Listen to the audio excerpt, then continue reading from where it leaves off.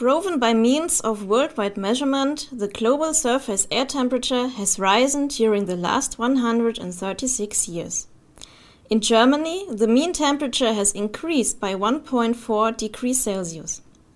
The scientific community is speaking of a climate change. In principle, a changing climate is not uncommon and has always happened during Earth history.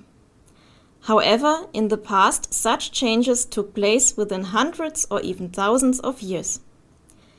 The current climate change is progressing at an unusually high speed. Since the 1960s, in Germany, every decade has been warmer than the previous one.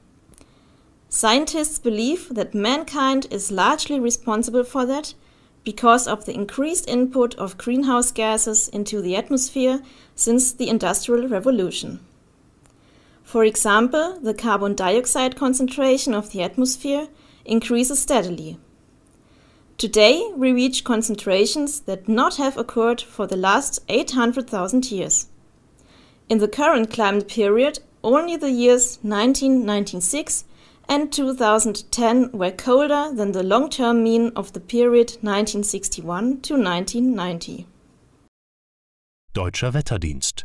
Wetter und Klima aus einer Hand.